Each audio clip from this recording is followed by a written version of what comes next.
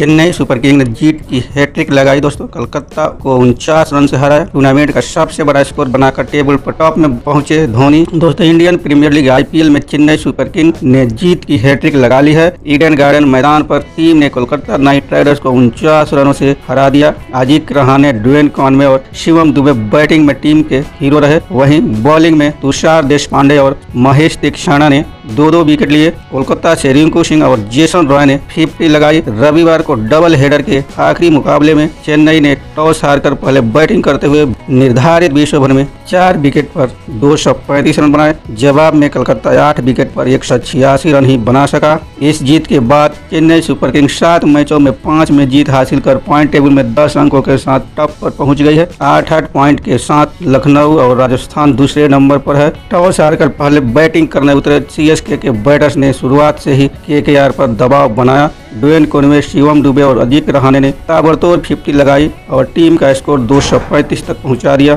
दो सौ छत्तीस रन के टारगेट का पीछा करने उतरी केकेआर की शुरुआत बेहद ही खराब रही। टीम ने आठ ही गेंदों में सुनील नरेन और नारायण जगदीशन के रूप में दोनों ओपनर्स के विकेट गंवा दिए। छह ओवर में टीम अड़तीस रन ही बना सकी। पहली पारी में इंजर्ड होने के बाद कोलकाता के ओपनर जेसन रॉय आठवें ओवर में बैटिंग करने आए। उन्होंने 26 गेंदों में इकसठ रन बनाए, लेकिन टीम को जीत दिलाने से पहले आउट हो गए। उनके विकेट के बाद दोस्तों के के मैच में वापस नहीं आ सकी। टॉस हारकर पहले बैटिंग करने उतरी। चेन्नई सुपर किंग को ड्वेन क्वेन और ऋतुराज गायकवाड ने तेज शुरुआत दिलाई। दोनों ने पावर प्ले में टीम का स्कोर बगैर नुकसान के उनसठ रन तक पहुँचाया। गायकवाड़ दोस्तों 20 बॉल में 35 रन बनाकर सूरज शर्मा का शिकार हुए, लेकिन आउट होने से पहले वह कॉनवे के साथ तिहत्तर रन की पार्टनरशिप कर चुके थे। सीएसके के ओपनर डोन कॉनवे ने चौतीस गेंदों में फिफ्टी पूरी की। यह उनकी टूर्नामेंट में लगातार चौथी और आईपीएल करियर की सातवीं फिफ्टी है। वह 40 गेंद में छप्पन रन बनाकर वरुण चक्रवर्ती का शिकार हुए। कानवे ने कोलकाता से पहले sunriser Hyderabad, royal challenger Bengaluru और राजस्थान रॉयल्स के खिलाफ भी 50 लगाई थी। कानवे का विकेट गिरने के बाद अजीत रहाणे ने शिवम दुबे के साथ चेन्नई की पारी को तेज़ी दी।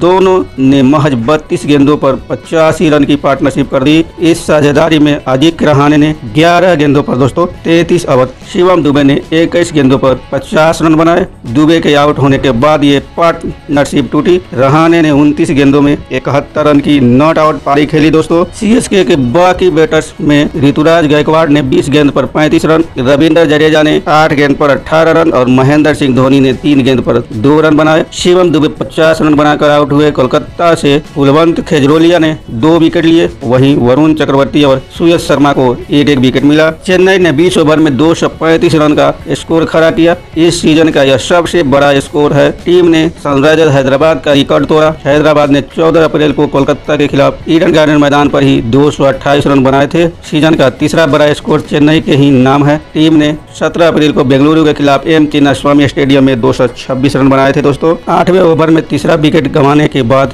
जेसन रॉय क्रीज पर आए। उन्होंने शुरुआती तीन गेंदों पर ही तीन छक्के लगा दिए। अगले ओवर में नीतीश राणा के आउट हो जाने के बाद भी रॉय नहीं रुके। उन्नीस बॉल में फिफ्टी पूरी करने के बाद उन्होंने छब्बीस गेंदों में पाँच चौकों और पाँच छक्कों की मदद से इकसठ रन बनाए। वह महेश तिक्षाणा की गेंद पर बोल्ड हुए, लेकिन अपनी टीम को गेम में वापस ले आए। तो दोस्तों, इस तरह से चेन्नई ने आईपीएल का तैतीसवा मुकाबला कलकत्ता नाइट राइडर्स से उनचास रनों से जीत लिया। हमारी ये जानकारी कैसी लगी? कमेंट बॉक्स में ज़रूर बताएँ। वीडियो को दिल से एक लाइक करें और चैनल से अभी तक नहीं जुड़े हैं तो हमारे यूट्यूब चैनल नरेंद्र के क्रिकेट को सब्सक्राइब कर लें। ऐसा ही मज़ेदार दमदार नॉलेजफुल वीडियो देखने के लिए अपना बहुमूल्य समय देने के लिए दोस्तों आपका दिल से धन्यवाद।